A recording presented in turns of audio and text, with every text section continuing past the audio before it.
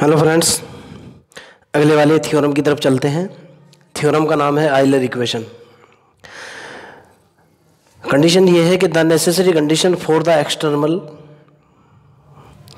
I Y X is equal to integration of X naught to X one F of X Y Y dash D X to be maximum और minimum is that condition है del F और del Y minus D over D X del F over del Y dash is equal to zero मतलब ये है कि कोई भी जो है हमारे पास फंक्शनल वो मैक्सिमम होगा या फिर मिनिमम होगा। आई एम रिपीटिंग कोई भी फंक्शनल जो फंक्शनल जो है मेरे को दे रखा है, वो मैक्सिमम होगा या फिर मिनिमम होगा।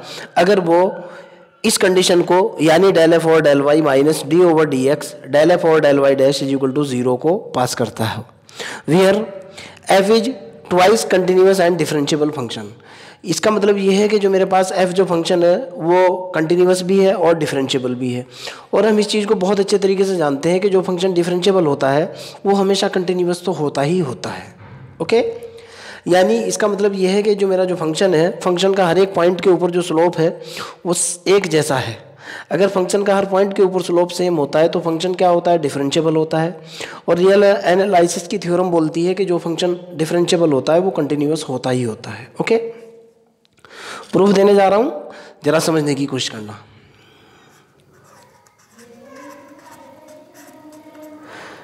मैं कह रहा हूँ let us consider a functional let us consider a functional.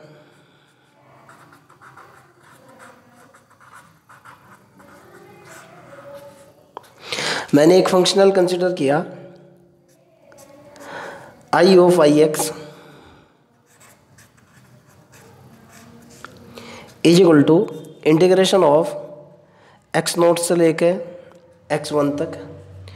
F of X comma Y Y dash into D X इसका मतलब ये है कि ये जो फ़ंक्शन है एक्स का वाई और वाई डैश का फ़ंक्शन है, और ये फ़ंक्शन जो है डिफरेंशियबल है, साथ में कंटिन्यूस भी है okay suppose that this is my equation one मान लिया जाए, ये मेरा एक्स एक्सिज और वाई एक्सिज है suppose that this is X axis origin point and Y axis मान लिया कोई वक्र यहाँ से ऐसे है सपोज़ दैट ये वाला point X naught Y naught है, और सपोज़ दैट ये वाला पॉइंट मेरा एक्स वन और वाई वन है ओके okay? और ये मेरा फंक्शनल है Y X this the curve suppose that इसके अंदर जो फ्लक्चुएशन आया, जो चेंज आया, वो सपोज़ दैट ये आया। Okay okay? ज़ाहिर सी बात है, ये जो ऊपर वाली वैल्यू है फ़ंक्शन की, ये इसके मुकाबले या तो घटी या बढ़ी। मान लिया ये चेंजेज आए, थोड़े से चेंजेज आए। इस पॉइंट के ऊपर वैल्यू सेम इस पॉइंट के ऊपर वैल्यू सेम और अंदर के थोड़ी सी वैल्यू जो है चेंज हुई।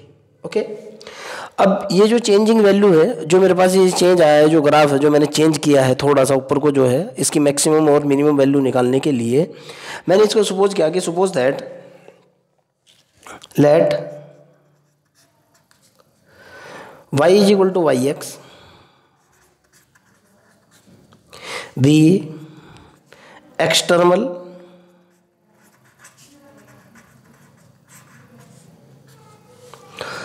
a functional?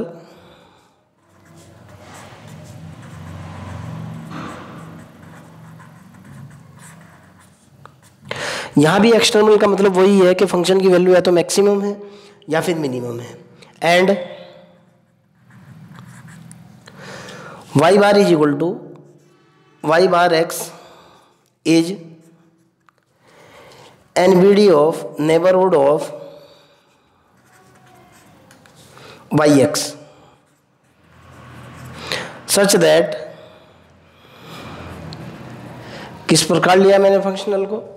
मैंने इसको इस तरीके से, ये जो फंक्शनल है, इसके नेबरहुड में ये जो मेरे पास कर्व है, इसके नेबरहुड में जो मैंने कर्व डिफाइन किया ओके इसको मैंने इस तरीके से डिफाइन किया कि Y bar X is equal to Y X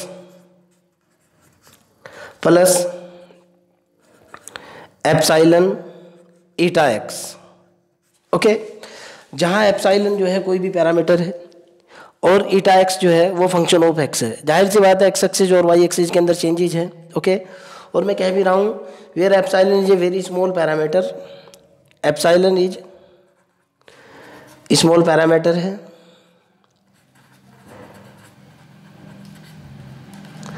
okay? And eta X जो है आर्बिट्रेरी फ़ंक्शन है।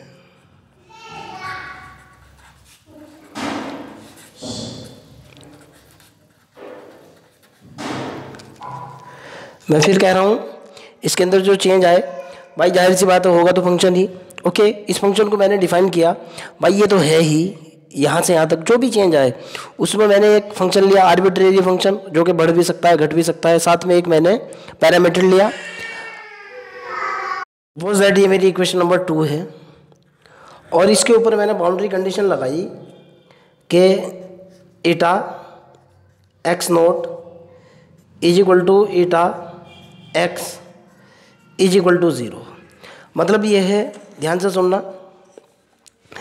भाई, ये जो दूसरा मेरा जो एक्सटर्नल है, ये जो दूसरा मेरा जो फ़ंक्शन है, जो फंक्शनल है, इसकी इस पॉइंट के ऊपर वैल्यू और इस पॉइंट के ऊपर वैल्यू तो सेम होगी ना? सेम होने की वजह से मैंने क्या किया? एक्स नॉट और एक्स दोनों की दोनों क्या होंगी? पर्टिकुलर पॉइंट के ऊपर ज़ीरो ओके नाउ अब मेरे पास जो इक्वेशन वन है, ज़रा उसको देखो आप. Now from the equation one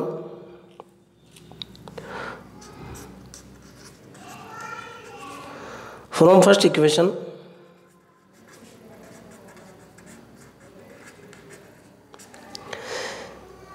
ये मेरे पास बना आई ऑफ़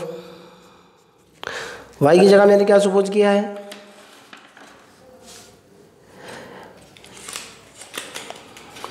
ये देखो आप Y bar is equal to Y X plus epsilon eta X okay तो यहाँ से मेरा जो फंक्शनल बना, वो ये बना I of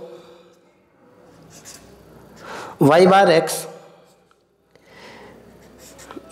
is equal to integration of X zero से X one F of X comma Y bar comma Y bar dash अर्थात मैंने इसके थ्रू चेंजेज ले लिए into D X clear now एक बार मैं सेकंड इक्वेशन फिर लिख रहा हूँ। मेरी जो सेकंड इक्वेशन है वो है Y bar X is equal to है Y X plus epsilon eta X equation number second clear now by using second equation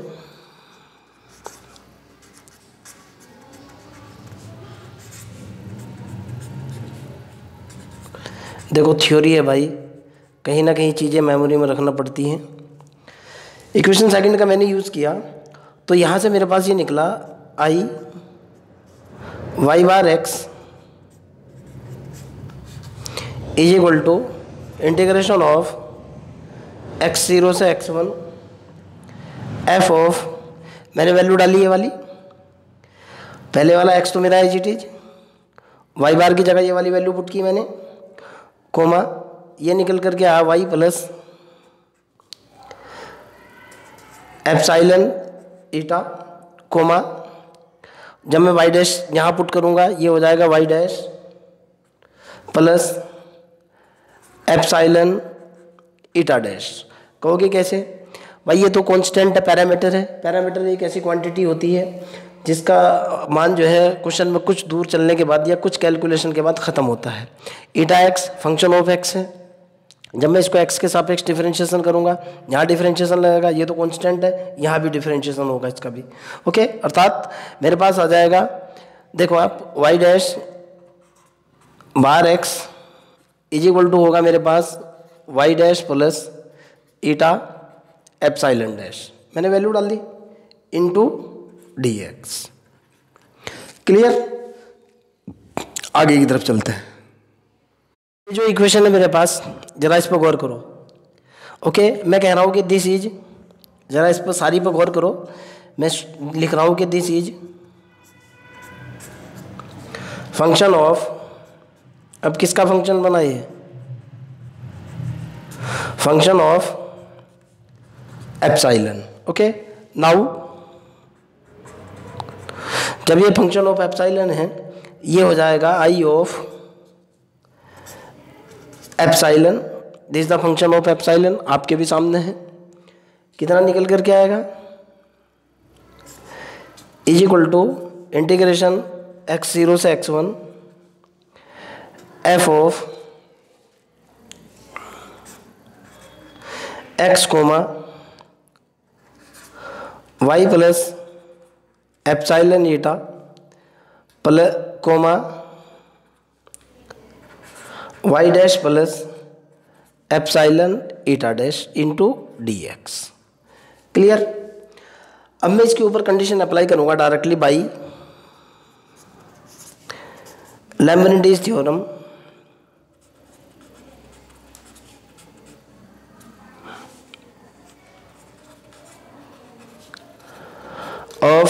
of under integration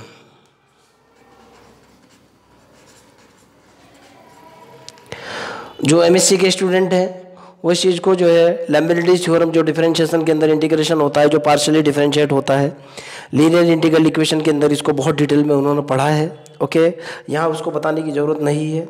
या फिर दूसरा कंसेप्ट ये भी है कि by using Taylor theorem by using मैं इसके ऊपर टेलर थ्योरम भी लगा सकता हूँ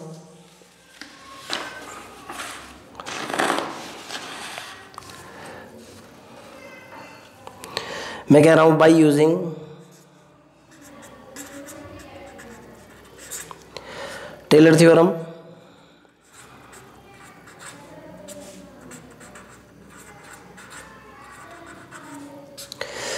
okay okay. अब दोनों का मतलब सेम निकलता है चाहे आप लेमिनिटी थ्योरम का यूज़ कर लो या टेलर थ्योरम का यूज़ कर लो, कुछ राइटर लेमिनिटी थ्योरम का यूज़ करते हैं। मैं भी लेमिनिटी थ्योरम का ही यूज़ करने जा रहा हूँ। तो यहाँ से जैसे ही मैं डिफ्रेंशिएशन करूँगा इसको एप्साइलन के रिस्पेक्ट में डिफ्रेंशिएट करूँगा, ये हो जाएगा मेरे पास d of I with respect to differentiation with respect to epsilon is equal to x not to x one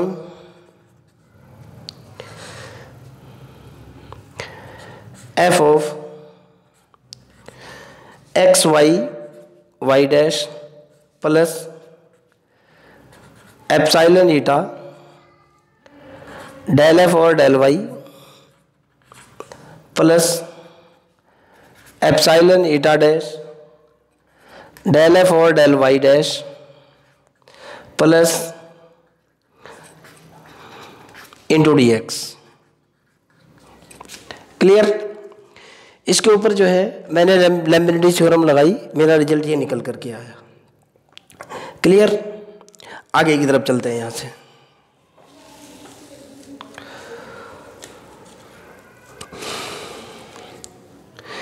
so that जब मैं इसका एप्साइलिन के स्पेक्ट्रम में डिफरेंशिएशन करूँगा, ये तो ज़ीरो हो जाएगा। ये निकल करके आएगा d I over d epsilon is equal to x not to x one partially differentiate करूँगा।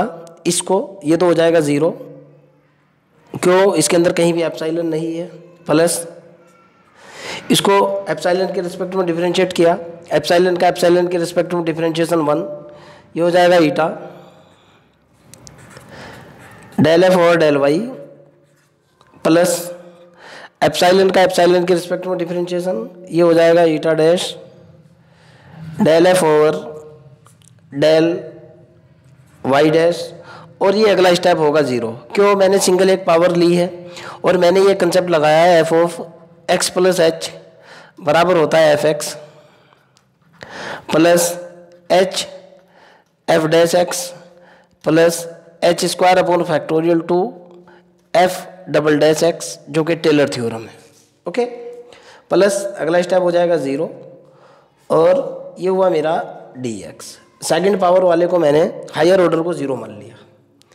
क्लियर यहाँ से मेरे पास निकल कर के आया? D I over d epsilon is equal to integration of x not to x one ये हुआ ईटा डेल एफ़ और del y plus eta dash del f over del y dash into d x okay अब मैं maximum minima की condition इसके ऊपर apply करूँगा। For external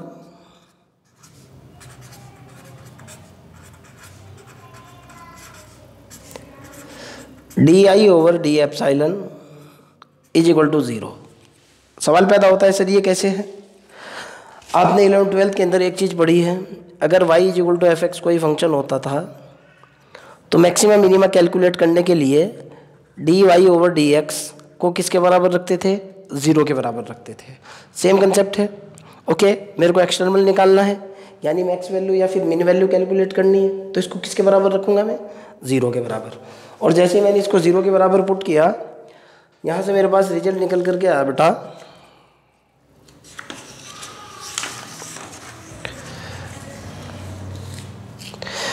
ये हुआ, ये तो हो चुका ज़ीरो यानी integration of x zero to x one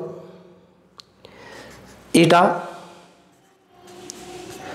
del f और del y plus eta dash del f और del y dash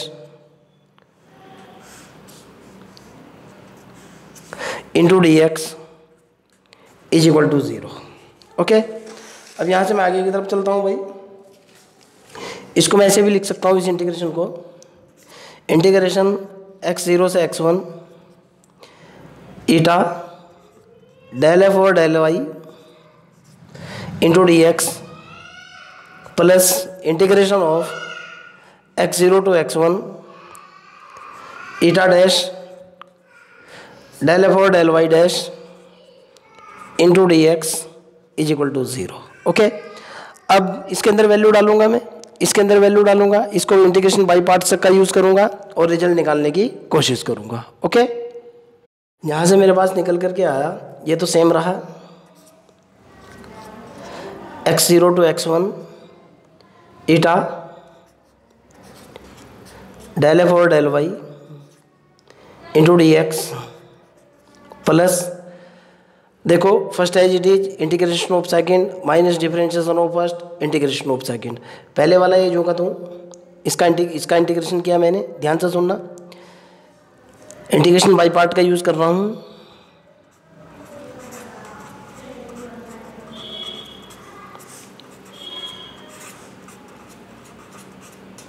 okay okay, तो ज़ाहिर सी बात इसका डिफरेंशिएशन ख़त्म हो जाएगा। ये निकल करके आएगा मेरे पास। Okay first as it is integration of second okay ये हो जाएगा मेरे पास डिफरेंशिएशन का निशान खत्म. इटा एक्स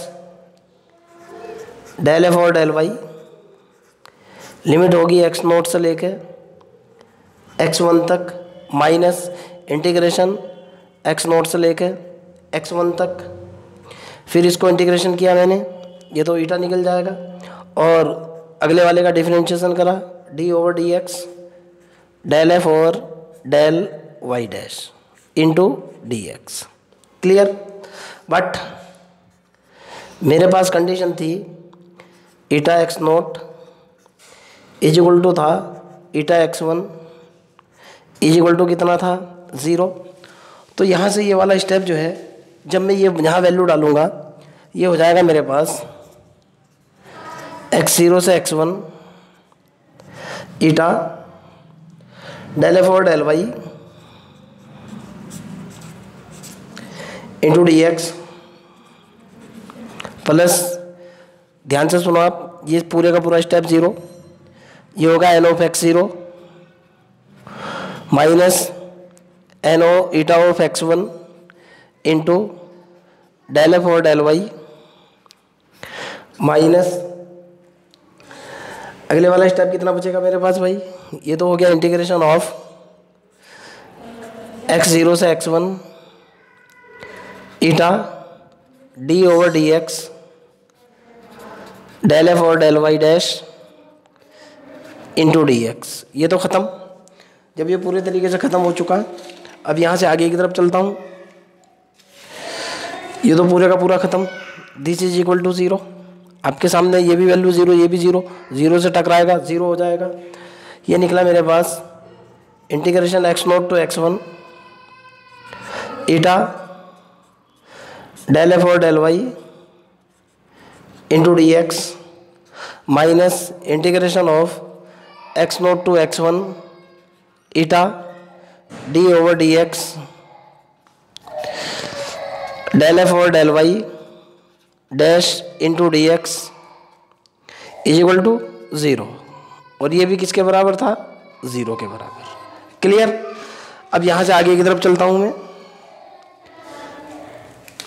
ओके मैंने यहाँ से ईटा इसमें से कॉमन लिया। ये हुआ मेरे पास एक्स नोट से लेकर एक्स वन तक। ईटा मेरे पास कॉमन मेरे पास यहाँ बना डेल एफ़ और del y minus d over d x del f और del y dash into d x is equal to zero यहाँ से निकला this is the product of two non zero quantity eta x तो zero नहीं हो सकता। कहोगे कैसे? X axis origin point y axis मेरा कर्व ऐसे है। एक्सट्रीम में ऐसे खींचा हुआ है। एक्स नोट है। एक्स वन है वाई ऑफ़ एक्स है, इसके लिए ले रखा है ना मैंने। इस इस फ़ंक्शन के रिस्पेक्ट में ये दूसरा जो फ़ंक्शन है, इसके लिए ये यहाँ मैंने ईटा एक्स को डिफाइन किया है। अर्थात आर्बिट्रेरी फ़ंक्शन है, जो कि कभी भी ज़ीरो नहीं हो सकता ओके तो ये तो ज़ीरो के बराबर नहीं है। जब ये ज़ीरो के बराबर नहीं है तो ज़ीरो कौन सी क्वांटिटी होगी?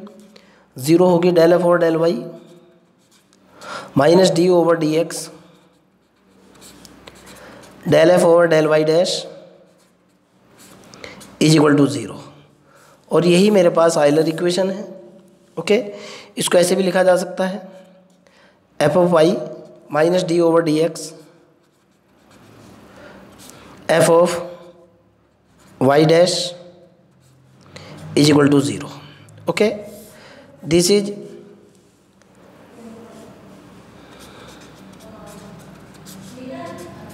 Euler equation और आइलर लैग्रेंज इक्वेशन भी बोलते हैं इसको।